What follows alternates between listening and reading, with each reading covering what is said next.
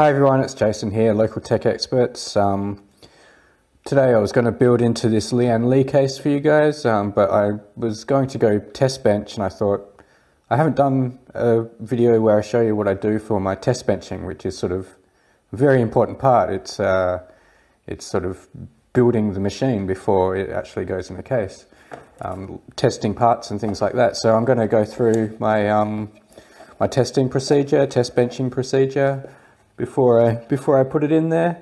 Um, you've got to excuse my voice. I've got a cold today, so um, bit of extra equipment is my lemon and honey drink here. Um, let's get uh, stuck into it, and I'll I'll show you what I do here. All right, thanks, guys.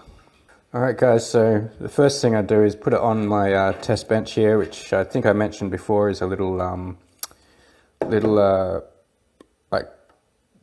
dinner table, like couch dinner table I got from uh, Target or something like that. Um, you can see this system's kind of dusty. Um, so the first thing I'm going to do is undo all the um, undo the uh, cooler, see what's going on under there, take it outside, give it a um, give it a clean. Um, I was going to say the the process. This process is the same regardless of if the parts are new, old, come out of a working system, um, the process is always the same. I, I always uh, do the same thing regardless of parts, if the parts are even new. So it's always good to um, sort of build the system from the ground up, is what I like to do anyway. And sort of the process for a repair is almost the same, um, except it remains in the case, really. Um, so We'll try not to get too much of the dust. Oh yeah, and that CPU's dry as a bone as well. Alright, so I'll uh, take take this stuff outside, give it a clean, and um, reapply the paste and come back. Another thing I like to do at this point is take the battery out um, and test that with a multimeter. Um, generally, I, will I'll just put a new one in um, these are rated, I think they're 3.2 volts. If it's anything under sort of 3 volts, I'll just chuck them away because you can save yourself a lot of time replacing the replacing the battery. I can tell you the amount of times that um, weird issues with memory or uh, weird BIOS issues it comes down to this little thing. So three bucks worth is going to save you save you a lot of time. Big headache. All right, I'll um, clean it up and get on to the next bit. Alright, so I took it outside, gave it a clean. Uh, that's not perfect, but definitely a lot better than it was. Um, also took this outside, gave it a clean, same thing. It's not exactly perfect, but much better than it was. And that poor, poor CPU must have been, uh, must have been cooking without, without, it was so dry under there. So we'll just reapply some thermal paste. Occasionally I will actually um, Oof. I think I'm running out of this stuff. This isn't the best thermal paste either, but it is cheap and it is big. Because I kept running out of thermal paste, and the worst thing is not being able to complete a build because you don't have thermal paste. Occasionally, I'll um, I'll reseat the CPU, but this one seems seems pretty pretty well in there. Um, so yeah. Where's my screwdriver? Here we go. Get, get that back on there. Um, the best practice for attaching these back down is uh, don't screw them all the way in and do like a cross pattern. So you saw I did this one and then that one because you want even pressure across um, the CPU. You don't want to screw one side all the way down um, and then go to the next one. You want to sort of do this this cross pattern so you get an even even um, pressure on the CPU down there. Um, if there's uneven pressure on the CPU, you can get some weird behavior. Um, again, uh, memory issues um, and just weird weird behavior in general, CPU issues. Um, so you don't need to put too much force in these. They have stoppers on them, so Um, you'll know when you get when when they're screwed down enough. There's the CPU. Oh, more dust on there. There's the CPU header down there. Just sort of tuck that under there. Good.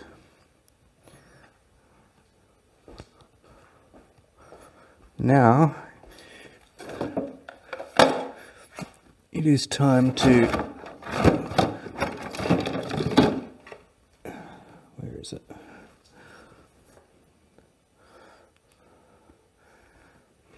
We go.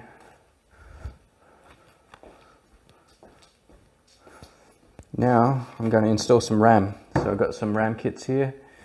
Uh, these are brand new ones, so I'll take them out of the packet here. They're sort of Chinese brand, but I've used them before. I got 10 sticks of these, so pretty confident with these ones. Um, so I'll install those on there. Um, so the rule of thumb is you do the furthest away RAM slot first and then for the second one you skip one skip one slot and put it in the next one over. Um, that'll give you dual channel in most cases. Um, so there's those installed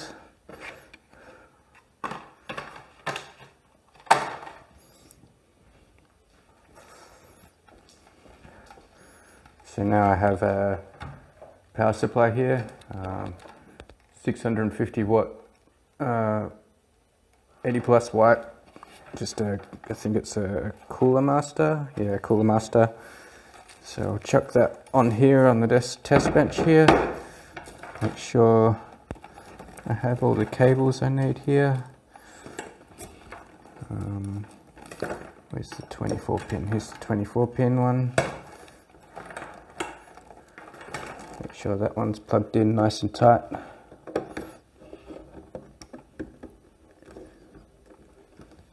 and then the CPU CPU one where are you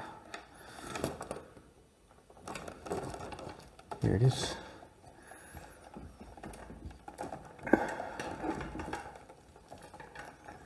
CPU one just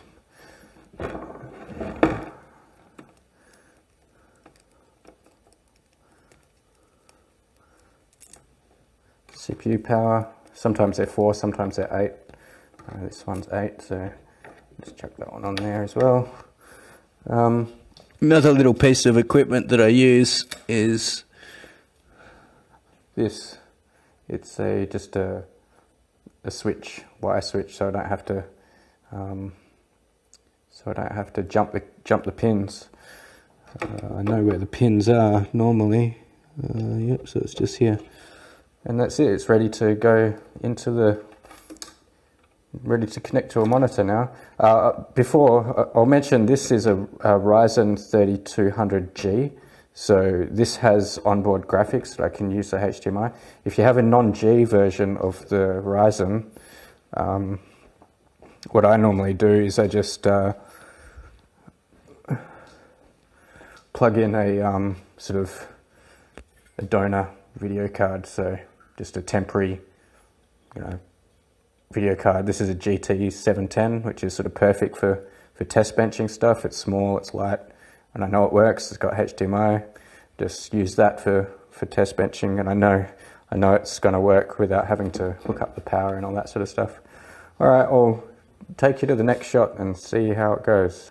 All right, guys, so here it is on the test bench. Uh, this is why we test bench stuff. These sticks of RAM just would not boot uh, with this system. So I don't know if it's the frequency or I've used these on Intel machines before, never on Ryzen. So I know Ryzen can be a little bit uh, more picky about what RAM it uses, but got a couple of eight sticks in there and it's uh, booting up now. So that's sort of checking the temperature of the CPU. I thought maybe it was the power supply that wasn't letting it boot up because the um, warning message was down there saying CPU, but um, I reseated the CPU, put a video card in, and ended up being the RAM. So this is why we test bench stuff. Um, the next thing I do is I have on this little thumb drive here, stick that in and uh, give it a reboot.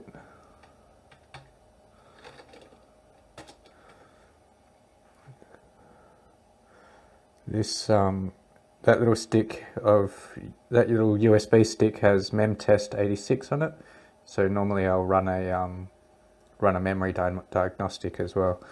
Um, let's see, is it gonna? Yeah, so this is um, MemTest86, I think it's called. Um, so I'll let this uh, do its testing. Um, I'll show you how I usually run this.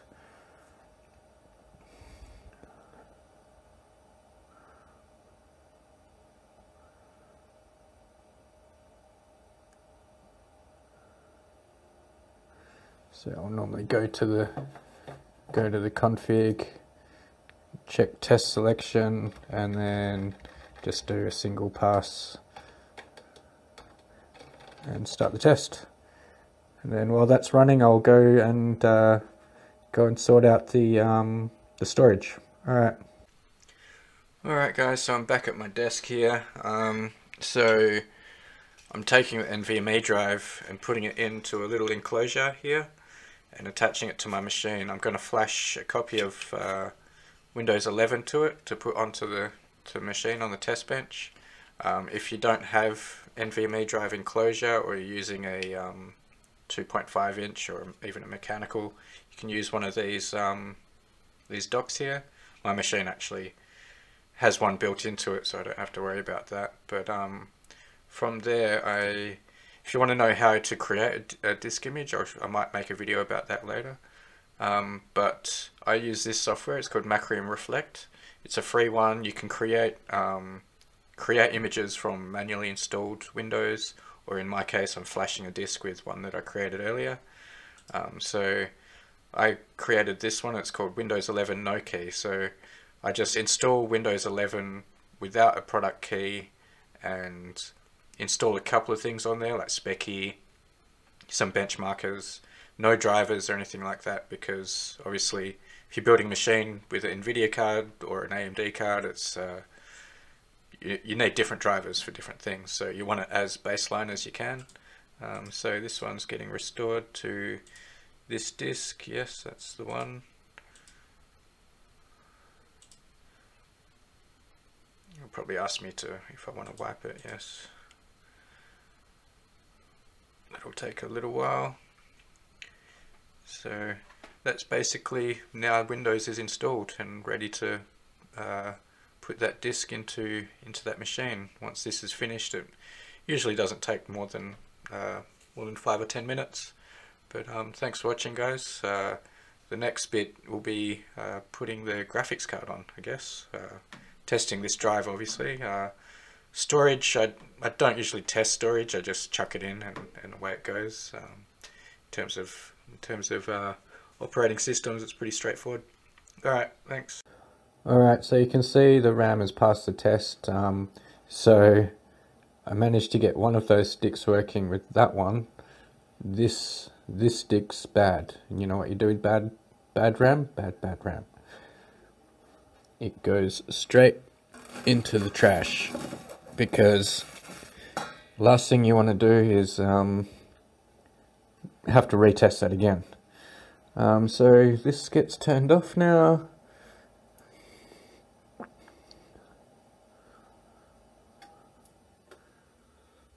And I can install the SSD. So I'll try and do this one-handed. Not too sure how success successful I'm going to be.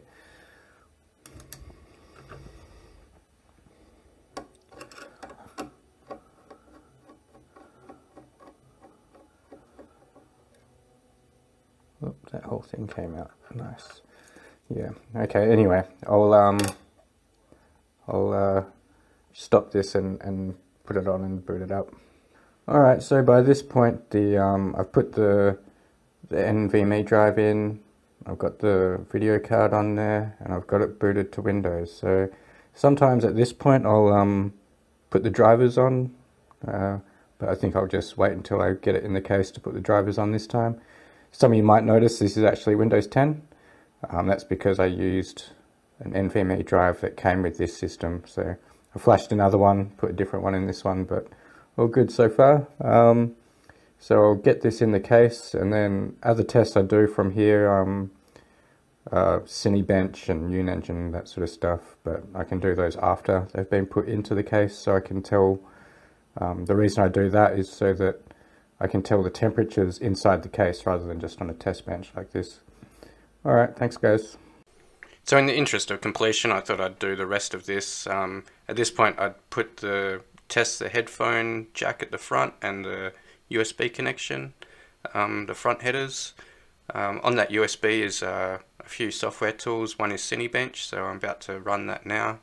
Um, I'd go to File and Preferences to um, make sure it runs for 10 minutes. 10 minutes is a good amount of time to see if it's going to overheat or anything. Um, at the same time I'll open Speccy as well um, just to make sure I can monitor the temperature of the CPU there. So I'll leave that running for 10 minutes and just check on it from time to time, make sure um, CPU is handling it. Uh, and then I'll install the graphics drivers, um, try and get the most latest ones if I can.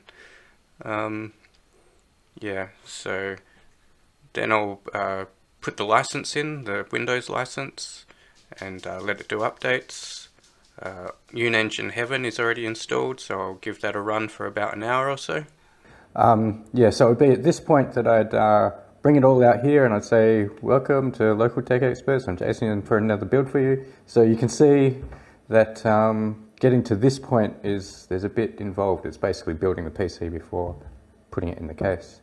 Um, I didn't mention in there, in the room where I test this as well is um, is a voltage meter that I put on the power supply, like so I can tell how much uh, power it's drawing and if it's getting anywhere near close to the breaking point of the power supply.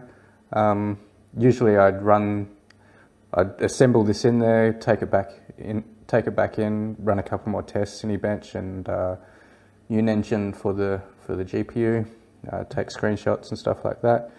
Um, but now this is ready to assemble. I won't, uh, won't make this video any longer. Thanks for watching guys and I'll catch you next time. See ya.